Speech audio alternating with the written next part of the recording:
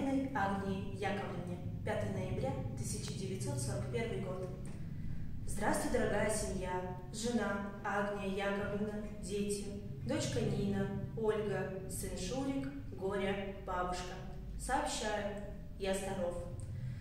Пишу вам третье письмо. Ответу не получил. Буду ждать.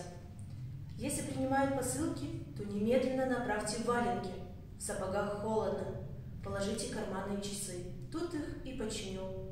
Нахожусь пока на старом месте, со своими в одной деревне.